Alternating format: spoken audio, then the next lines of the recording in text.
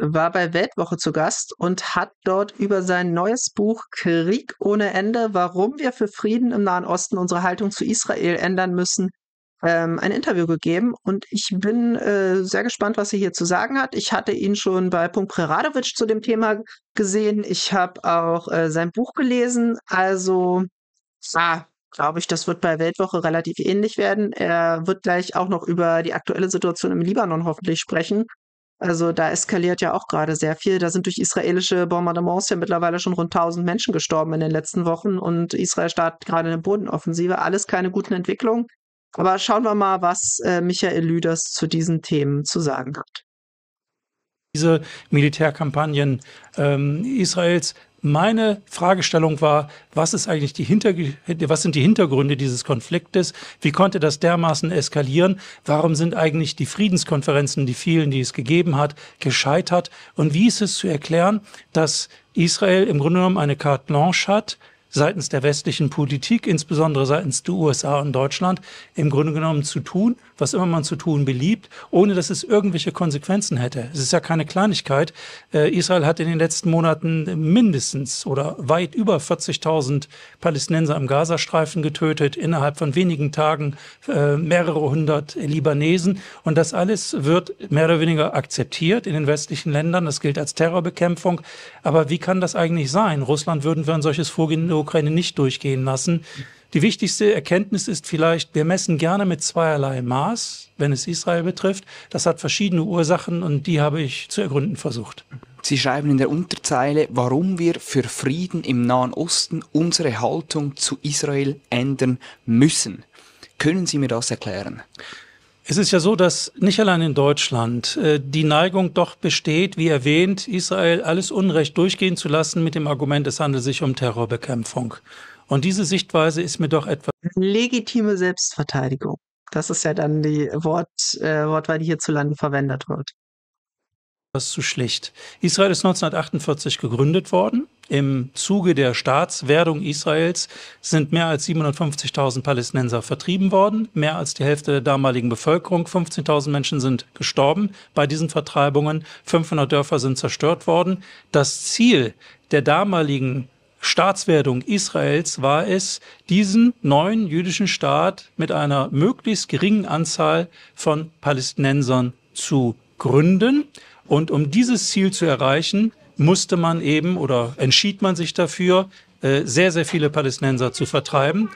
Und das ist im Grunde genommen, wenn man so will, die Ursünde ähm, der Staatswerdung Israels, die bis heute nicht äh, betrachtet worden ist oder nicht betrachtet worden im Sinne von gelöst worden ist. Ähm, es gab den Sechstagekrieg 1967, in dessen Verlauf wurden noch einmal 350.000 Palästinenser vertrieben, gewaltsam vertrieben. Und diese Vertreibungen setzen sich ja im Prinzip bis heute fort. Dieser Krieg, der am 7. Oktober ausgelöst wurde, war ja im Grunde genommen man möchte fast sagen, für Israel eine Einladung, das zu tun, was man ohnehin schon seit langem sich überlegt hatte seitens der Ultrarechten. Wie kann man einen möglichst großen Anteil der palästinensischen Bevölkerung loswerden? Es gibt mittlerweile mehr Nicht-Juden, Palästinenser als Juden zwischen Israel und Jordanfluss. Und aus Sicht der Groß-Israel-Apologeten, also derer, die für einen Groß-Israel-Staat eintreten. Groß-Israel bedeutet das gesamte historische Palästina, das gesamte Land zwischen Mittelmeer und Jordanfluss. Aus deren Sicht also geht es nun darum, wie gesagt, Tabula Rasa zu machen. Und wir in Deutschland insbesondere, wir glauben, wir hätten die richtigen Lektionen aus der jüngeren deutschen Geschichte gelernt, indem wir dieses Verhalten der israelischen Seite, so wenig es akzeptabel ist, akzeptieren. Wir glauben quasi die richtigen Lektionen gelernt zu haben, indem wir das nicht nur billigen, sondern zunehmend haben wir auch nach dem 7. Oktober Waffen geliefert im großen Umfang. Und es stellt sich doch die Frage. Ja, die Waffenexporte in Deutschland, die haben sich äh, 2023 verzehnfacht. Deutschland ist äh, zweitwichtigster Waffenlieferant nach den USA und mit weitem Abstand vor Italien. Also ohne deutsche Waffen könnte Israel diesen Krieg so nicht führen und auch ohne deutsche Munition nicht. Also Deutschland ist auch ein großer Munitionslieferant wie dieses große Schweigen der westlichen Politik zu erklären ist gegenüber diesem Unrecht, das Israel begeht. Auch Israel ist Unrecht widerfahren am 7. Oktober, keine Frage. Aber das rechtfertigt nicht dieses israelische Vorgehen im Gazastreifen. Es ist die am meisten zerstörte Region auf der Welt, keine kein Teil der Welt ist innerhalb so kurzer Zeit so umfassend zerstört worden wie der Gazastreifen. 80 Prozent dort sind zerstört. Die Menschen können dort eigentlich nicht mehr existieren. Es gibt kein sauberes Trinkwasser, es gibt keine Abwasserentsorgung. Es ist ein Desaster, aber wir lassen es geschehen und wir finden es irgendwie auch in Ordnung, weil offiziell verteidigt sich Israel, bekämpft den Terror. Sehen Sie sich ketzerische Frage. Sehen Sie sich als eine Art Pflichtverteidiger der Palästinenser, als Sie haben das Wort selbst gesagt, als Apologeten der Gegenseite Israels, als Apologeten der Palästinenser? Nein, es geht mir nicht um Apologetik, sondern es geht mir auch in dem Buch darum, äh, der palästinensischen Seite insoweit Gerechtigkeit widerfahren zu lassen, als sie der große historische Verlierer ist im Konflikt mit Israel, im Konflikt mit der jüdischen Inbesitznahme Palästinas, die zu Beginn des 20. Jahrhunderts einsetzte. Und äh, es ist ein anhaltendes Unrecht, das sich über mehrere Generationen erstreckt, das wir im Westen aber weitgehend verdrängt haben. In der arabisch-islamischen Welt, im globalen Süden ist dieses Bewusstsein sehr weit vertreten, dass die israelische Seite hier großes Unrecht begangen hat. Wir aber verdrängen das. Es kann aber keine gedeihliche Zukunft geben zwischen Israel und den Palästinensern, ohne dass es die Perspektive gibt auf einen palästinensischen Staat. Und den gibt es nicht. Man glaubt seitens der. Ja, die Perspektive gibt es auch nicht. Also, wie soll es einen palästinensischen Staat geben? Also, Michael Lüders hat das ja in seinem Buch alles äh, wunderbar erklärt. Das Westjordanland ist durchzogen von äh, israelischen Siedlungen.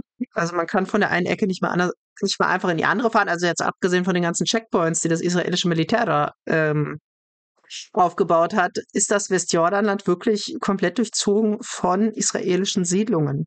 Also gerade um Jerusalem ist ein riesiger Siedlungsring entstanden, der das Westjordanland einmal durchschneidet. Also das es gibt kein zusammenhängendes Territorium, auf dem ein palästinensischer Staat entstehen könnte. Gaza ist unbewohnbar gemacht, also es bräuchte wahrscheinlich hunderte Milliarden, um das wieder aufzubauen. Also nachdem dieser Krieg jetzt erstmal endet, also das, da ist ja auch kein Ende in Sicht. 40.000 Tote scheinen Israel ja lange noch nicht genug zu sein. Und ähm, ja, dementsprechend, äh, wie gesagt, ohne, ohne Territorium, ohne, ohne Staatsgebiet kann es keinen palästinensischen Staat geben damit ist dieser ja, palästinensische Staat jetzt auch wahrscheinlich vom Tisch. Ultrarechten israelischen Regierung, man könne das Palästina-Problem ein für alle Mal lösen durch Gewalt. Und alle Widersacher der israelischen Politik, vertreten vor allem durch die Hezbollah, die Partei Gottes im Libanon, die eng mit dem Iran bekanntlicherweise äh, zusammenarbeitet, wenn man die ein für alle Mal ins Mark getroffen hat, dann gäbe es keinen Widerstand mehr gegen das Projekt Groß-Israel und dann könne man dieses Projekt abschließend verwirklichen. Das kann aber nicht funktionieren, weil der Widerstand in der Region ist dagegen zu groß. Sie sagen, der Westen, also wir, müssen unsere Einstellung gegenüber Israel ändern. Nun sieht Deutschland die Sicherheit Israels als Staatsräson. Dieses Wort wird immer wieder genannt. Was bedeutet das konkret? Müsste überspitzt formuliert, müsste irgendwann die Bundeswehr einrücken gegen die Hamas, die Hisbollah. Wie verstehen Sie diese Staatsräson? Was bedeutet das konkret? Ja, das ist eine sehr gute Frage, die man am besten der deutschen Regierung stellen sollte, weil das ist nicht ganz genau geklärt. Was bedeutet Staatsräson? Dieser Begriff ist sehr wischiwaschi aber äh, er hat eine große Wirkmacht, obwohl er weder juristisch noch politisch in irgendeiner Weise zu konkretisieren ist. Und die Schwierigkeit ist, dass man sich damit in eine moralische Haltung begeben hat, begeben hat gegenüber Israel. Angela Merkel war diejenige, die diesen Begriff der Staatsräson eingeführt hat, 2008 bei einer Rede vor der Knesset, dem israelischen äh, Parlament. Und Helmut Schmidt kritisierte damals diese Rede nach dem Motto, das sei zwar emotional nachvollziehbar, was er da gesagt habe, aber was bedeutet das konkret? Bedeutet das, wenn Israel Krieg führt gegen den Iran, dass dann deutsche Soldaten auf der Seite Israels kämpfen? Das sei eine sehr unkluge, unbedachte Formulierung gewesen. Und der Begriff der Staatsräson geht ja darüber hinaus. Man glaubt, Israel in jedem Punkt beistehen zu müssen. Die Frage ist ja nur, welches Israel ist gemeint? Reden wir von dem Israel in den Grenzen des 4. Juni 1967 vor dem Sechstagekrieg oder reden wir von jenem Israel, das danach entstand, nach der Inbesitznahme und der Kolonialisierung des Westjordanlandes, des Gaza ja, also wir reden eindeutig von dem Israel, äh, was wir gerade sehen. Also alles, was die rechtsradikale israelische Regierung da gerade macht, alles, was Israel seit 1967 gemacht hat, das ist, fällt ja offensichtlich noch unter deutsche Staatsräson. Sonst hätte Angela Merkel diese Rede, die hat sie in 2000ern gehalten, sonst hätte sie das ja nicht mehr gesagt. Also da war das äh, Westjordanland ja schon äh, 40 Jahre unter israelischer Besatzung. Und ja, das gilt dann wahrscheinlich auch für zukünftige israelische Eroberungszüge, beispielsweise im Libanon. Streifens der syrischen Golanhöhen und von Ostjerusalem äh, und des Sinais. Das alles wird ja nicht geklärt oder es ist bis heute nicht geklärt worden. Es gibt so ein Bauchgefühl, wir Deutschen, wir müssen auf der Seite Israels stehen. Die Amerikaner tun das ihrerseits, weil für sie aus Sicht der USA ist Israel, wenn man so will, ihr Flugzeugträger im Nahen Osten, mit dessen Hilfe man geopolitische Rivalen in Schach halten kann, allen voran den Iran. Und die deutsche Haltung, nämlich zu glauben, man habe die richtige Lektion aus der jüngeren deutschen Geschichte gelernt, indem man Israel alles durchgehen lässt, noch das größte Völkerrechtsverbrechen, das ist eine ungute Haltung, weil sie delegitimiert Deutschland in der Welt und es stellt sich die Frage, ähm, will man eigentlich seitens des Moralweltmeisters Deutschland, das sind wir ja, wir sind ja die Guten und wir wollen die Welt davon überzeugen, dass die Deutschen nun wirklich die richtigen Lektionen gelernt hätten aus der Geschichte.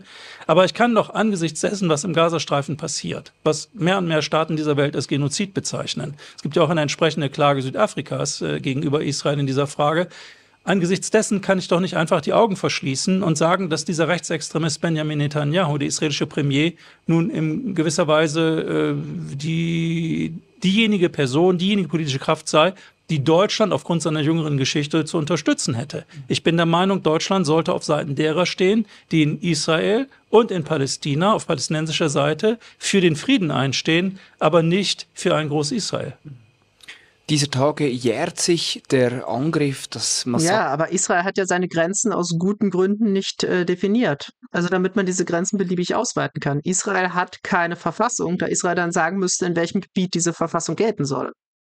Also Groß-Israel, das ist ganz fest in diesem Staatsprojekt verankert, dass dieser Staat immer weiter wachsen, immer sich immer weitere Gebiete äh, untertan machen will der Terrorangriff auf die israelische Bevölkerung am 7. Oktober. Wie ist die Lage jetzt in Nahost? Wie beurteilen Sie dieses Chaos, das so unübersichtlich scheint? Die israelische Armee und die israelische Führung haben sich schon recht bald nach dem, nach dem 7. Oktober dafür entschieden, nicht allein die Hamas im Gazastreifen zu bekämpfen und darüber hinaus Lebensgrundlagen der Palästinenser so weit zu zerstören, dass am Ende wahrscheinlich nur ein Exodus der Palästinenser im Gazastreifen noch bleibt. Und auch im Westjordanland geht ja die israelische Armee immer brutaler vor gegen die Palästinenser, Siedler vertreiben Palästinenser und so weiter. Also das bleibt hier so unruhig. Die israelische Führung jedenfalls ist der Meinung, sie könnte jetzt die Gunst der Stunde nutzen, auch im Libanon ihren Widersacher Hezbollah zu zerstören, jedenfalls äh, in großen Teilen. Das ist eine sehr unrealistische Annahme. Auch die Hamas ist nach einem Jahr nicht besiegt. Sie kämpft weiter. Es entwickelt sich zunehmend eine Guerilla-Armee aus der Hamas. Und die Hamas ist ja im Vergleich sehr viel schwächer als die Hezbollah. Der einzige Grund, warum die Hezbollah jetzt nicht ihr umfangreiches Raketenarsenal in Richtung Israel abfeuert, ist ja, dass sie, die Hezbollah, wie auch der Mentor Iran genau wissen, dass die Israelis nur darauf warten, dass auch nur eine Rakete der Hezbollah irgendein Hochhaus in Tel Aviv trifft, dann hat die israelische Regierung den Vorwand, um einen Krieg zu führen, auch gegen den Iran. Natürlich wissen die Israelis, weiß die israelische Führung, den kann sie nicht alleine führen. Dafür braucht sie Unterstützung der USA. Und deswegen ist es das Ziel der Regierung Netanyahu, die Region so weit in Brand zu setzen, dass die Amerikaner idealerweise sich auf die Seite Israels stellen und mit dem Iran das letzte Land in der Region zerstören, das den israelischen Hegemonieansprüchen noch im Wege steht. Den Irak unter Saddam Hussein gibt es nicht mehr. Syrien spielt geopolitisch keine Rolle mehr. Man hat hier gewissermaßen in der Vergangenheit ganze Arbeit geleistet im Jungtim, USA und Israel und andere Akteure vor Ort. Also die Haltung Netanyahus ist klar. Er weiß natürlich auch in dem Moment, wo er den Krieg beendet, ist er als Premierminister nicht mehr gefragt. Es würde dann Neuwahlen geben, möglicherweise wird er abgewählt, dann landet er vor Gericht aufgrund seiner vielen Vergehen, nicht zuletzt der Korruptionsvorwürfe. Also aus seiner Sicht, je länger der Krieg andauert, umso besser ist es für ihn, umso besser ist es für die Groß-Israel-Ideologen. Naja, ins Ausland fliehen wird jetzt auch schwierig, wenn er denn, ähm, wenn er denn gesuchter Kriegsverbrecher ist. Ich meine, dieses Verfahren, was zur Erteilung eines äh, Strafbefehls vor dem Internationalen Gerichtshof äh, führen wird, das wurde eingeleitet. Also Es wird für Net also Netanyahu äh, bleibt an der Macht, solange dieser Krieg fortgesetzt wird. Deswegen hat er ein Interesse an der Verewigung dieses Krieges und deswegen führt er auch diesen neuen Krieg im Libanon ganze Siedlerbewegung für die messianischen ähm, äh, Groß-Israel-Verfechter, die also glauben, sie hätten einen biblisch begründeten Anspruch auf das gesamte Eretz Israel, auf das gesamte Land zwischen Mittelmeer und Jordanfluss, also sprich auf das gesamte Palästina. Sie haben da die USA angesprochen, Iran, der da mit, ein, mit reingezogen werden könnte, die Eskalationsgefahr. Für wie akut, für wie bedrohlich, für wie gefährlich halten Sie, Sie die aktuelle Lage? Die ist sehr gefährlich. Äh, es gibt ja Bemühungen seitens der Vereinten Nationen, jetzt in diesen Tagen diesen Konflikt zu deeskalieren, einen Waffenstillstand für 21 Tage zu gestalten, damit es Verhandlungen geben könne. Die israelische Regierung hat diese Verhandlungen abgelehnt, genauso wie sie auch die Verhandlungen um die Freilassung der israelischen Geiseln im Gazastreifen sämtlich unterlaufen und unterminiert hat. Das kann man nachlesen, unter anderem bei israelischen Zeitungen wie Haaretz. Das ist dort alles. Ja, ja. Also da hatte Aretz tatsächlich letztens erst einen Bericht drüber, wie Netanyahu ein Geiselabkommen sabotiert hat. Also die Hamas hat mehrfach angeboten, alle Geiseln freizulassen, gegen einen dauerhaften Waffenstillstand und die Freilassung der palästinensischen Geiseln, die sich in israelischer Haft befinden. Also im Westjordanland, da nimmt Israel immer wieder Palästinenser als Geiseln, die es dann in irgendwelche ähm, Foltergefängnisse sperrt. Also das ist tatsächlich ein Standardvorgehen der israelischen Armee um halt ein Druckmittel gegenüber der Hamas zu haben auch. Ist dokumentiert, das muss man ganz klar sagen, dass aus Sicht der israelischen Regierung spielen die Geiseln im Gazastreifen längst keine Rolle mehr. Die sind eingepreist als Opfer äh, für die Groß-Israel-Ansprüche der, der israelischen Regierung. Und das Problem ist, dass in dem Moment, wo der Krieg mit der Hezbollah nicht endet, nicht endet oder sich intensiviert. Irgendwann, die Hezbollah muss ja irgendwann reagieren, zurückschießen, sonst macht sie sich unglaubwürdig. Und wie gesagt, ein Treffer auf ein Hochhaus in Tel Aviv, das wäre dann die Steilvorlage, die Israel braucht, um massiv gegen den Libanon vorzugehen, gegen die Hezbollah vorzugehen, noch viel massiver als jetzt. Und dann wäre der Iran ruckzuck involviert. Es reicht ja, dass die israelische Seite eine Rakete in Richtung Teheran abschickt oder äh, die Hauptstadt bombardiert. Also kurzum, es ist eine brandgefährliche Situation und ich glaube, dass die meisten Menschen bei uns, politische Entscheider, aber auch Medienschaffende, von der breiten Öffentlichkeit ganz abgesehen, sich einfach keine Vorstellung machen, was dann droht. Wenn der Iran angegriffen wird, wenn der Iran in diesen Krieg hineingezogen wird, dann explodiert der Nahe Osten und das ist wörtlich zu verstehen. Das hätte gravierende Folgen. Also erstens wäre es eine Katastrophe für die Menschen vor Ort sowieso. Mhm. Es würde eine neue Fluchtbewegung auslösen in Richtung Europa. Aber die Energieversorgung würde in weiten Teilen zusammenbrechen, beziehungsweise die Energiepreise würden explodieren. Denn äh, es ist ja klar, dass dann die, äh, dass die Versorgungssicherheit durch die Schiffe, die Öl und Gas transportieren, nicht mehr gewährleistet ist, wenn dort die Raketen fliegen. Das wäre besonders für Deutschland dramatisch, denn die Deutschen haben ja wir sind Moralweltmeister, also nach Beginn des Ukraine-Kriegs haben wir die wirtschaftlichen Beziehungen zu Russland auf Eis gelegt. Natürlich äh, wollen wir offiziell kein russisches Gas und Öl. De facto bekommen wir es durch die Hintertür, durch Aserbaidschan, durch Kasachstan und die Türkei doch, aber zum drei- bis fünffach höheren Preis. Ja, und wenn nun also diese Ressource Erdöl, Erdgas knapper wird durch einen möglichen Krieg im Nahen Osten, gehen die Preise durch die Decke. Die Amerikaner werden dann sofort ihre, ihre Fracking-Gas-Exporte in Richtung Europa reduzieren. Und Deutschland ist dann in einer ganz prekären Lage. Andere europäische Staaten, zum Beispiel Spanien oder Italien, beziehen Erdgas aus Algerien oder Libyen. Die Deutschen aber haben keine Versorgungssicherheit. Die Preise würden weiter explodieren, die Energiepreise. Und wenn man sich den Zustand der deutschen Wirtschaft anschaut, dann weiß man, dass die, sagen wir mal, die Ursünde der deutschen Regierung es war, diese wirtschaftlichen Beziehungen zu Russland und damit die Energiesicherheit zu kappen, ohne eine bezahlbare Alternative zu haben. Das fällt uns jetzt auf die Füße. Und wenn jetzt der Nahosten noch explodiert, ich würde mal sagen, dann ist die deutsche Wirtschaft ja in einer ganz, ganz prekären Lage.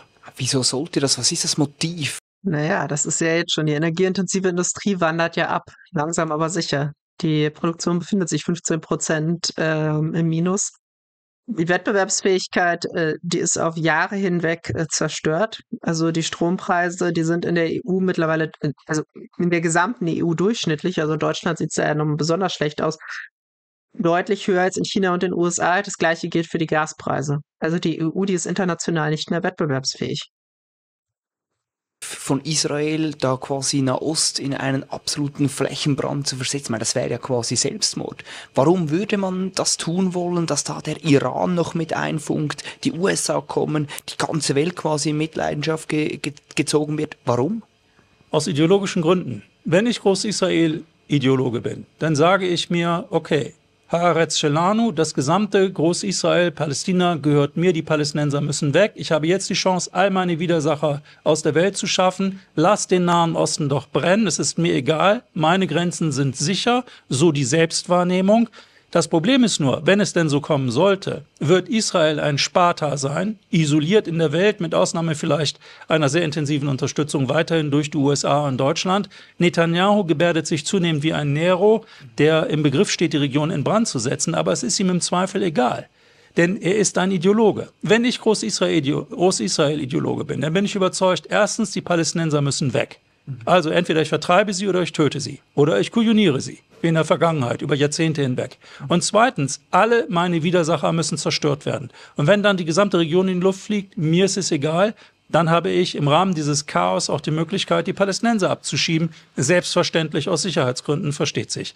Das muss nicht eins zu eins so kommen, aber in diese Richtung wird es gehen. Und das ist eine brandgefährliche Situation. Und als liberaler, als gemäßigter Israeli, als gemäßigter liberaler Jude in der Diaspora kann man eigentlich nur verzweifeln angesichts ja, ja, das machen auch viele liberale Israelis. Die haben das Land nämlich schon verlassen. Also Israel erlebt gerade eine Auswanderungswelle.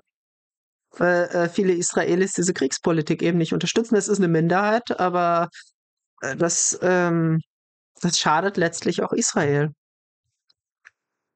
Des Zustands des Staates Israel. Und es sind ja auch liberale Juden, die äh, diese Politik angreifen und kritisieren. Die, die Opfer der Groß-Israel-Politik sind gegenwärtig die Palästinenser und die Araber. Aber im nächsten Schritt, wenn sich die Lage irgendwann mal wieder beruhigen sollte, wenn überhaupt, dann werden liberale Israelis ins Visier geraten, jüdische Israelis, weil sie als Landesverräter gelten, die mit dem Feind kooperieren oder die eben äh, nicht äh, eingenordet sind genug, um eben der Siedlerbewegung die Ehre zu erweisen oder eben dieser Groß-Israel-Ideologie nicht zu frönen, die letztendlich Israel zerstören wird. Mhm. Wenn man sich die Frage stellt, ob Israel in 30 Jahren noch existiert, ganz ehrlich, ich bin mir nicht sicher. Nicht, weil irgendein Land Israel wird zerstören können. Das ist ausgeschlossen. Aber die inneren Widersprüche der israelischen Gesellschaft, die Wahrscheinlichkeit, die Möglichkeit, dass es zu einem Bürgerkrieg kommen, kann, kommen kann in Israel, die Überlegung, dass Israel ein Paria-Staat werden wird, der nur noch an der Live. Ja, die Frage ist, äh, zwischen wem soll es da zu einem Bürgerkrieg äh, kommen? Also die liberalen Israelis machen es ja gerade schon zum Teil, die werden eher auswandern, als da äh, wirklich Widerstand zu leisten. Also, dass sich Israel, also dass Israel ein wesentlich autoritärerer Staat wird, als das es ohnehin schon ist, das mag sein, aber also die Prognose, die verstehe ich tatsächlich jetzt nicht so ganz. Da würde ich Michael Lüders gerne fragen, ähm, wie er so einen Bürgerkrieg kommen sieht. Die USA hängt. Mhm. Ja, das ist doch keine Perspektive für eine gedeihliche Zukunft eines Staates, einer Gesellschaft. Die Liberalen, die gemäßigten Israelis werden auswandern, und zwar in großer Zahl. Das tun sie schon seit Jahren. Und wenn man am Ende nur noch Rechtsextremisten hat, jetzt überspitzt gesagt, die diese Gesellschaft, die israelische prägen, ja, dann ist man irgendwann allein auf der Welt. Ja, dann hat man halt einen sehr autoritären Staat. Ah, Israel hat, wie gesagt, die Unterstützung der USA. Israel hat Atomwaffen. Also Michael Lüders hat es auch gerade gesagt, es gibt keinen Staat, der Israel irgendwie zerstören könnte. Also weiß ich jetzt nicht. Ähm, weiß ich jetzt. Also wir hören mal die nächste Frage. Vielleicht hakt der äh, Weltwoche-Reporter an der Stelle nochmal nach. Also ich weiß nicht, woher dieser Bürgerkrieg kommen soll. Ich meine, Israel kann dann ja einfach ein ja, ziemlich autokratisch organisierter, ein ziemlich autokratisch organisiertes, sehr nationalistisches Staatswesen werden, wo halt ähm, oppositionelle Stimmen nach und nach niedergemacht werden. Das gibt's ja auf der Welt. Das wäre ja nichts, nichts Neues. Also es gab es in der Vergangenheit ähm, in vielen Ländern ja auch schon. Wie beurteilen Sie eigentlich diese Pager-Attacke, wo da bei der Hisbollah... Ach so, schade. Schade, schade, schade. Das hätte mich jetzt echt interessiert. Ähm, welche ähm, internen Widersprüche Michael Lüders sieht, wie ähm, die in der israelischen Gesellschaft bestehen. Aber jetzt geht es um den Libanon-Krieg. Das ist, glaube ich, ein anderes Thema. Ist auch ein wichtiges Thema.